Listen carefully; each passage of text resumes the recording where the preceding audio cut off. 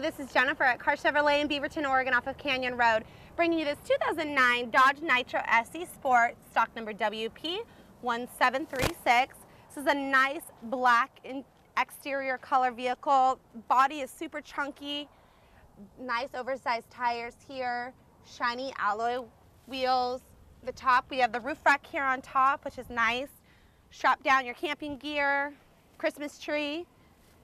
The back here has great storage for all your valuables, all your shopping bags, all your gear. Nice back there. The inside is a gray multicolor interior, cloth interior. Has automatic windows and door locks. It has a CD player. It also has the sport shift, which is nice. This car is ready to go. Come on down and take it for a test drive. Also, you can give us a call or send us an email. Have a great day.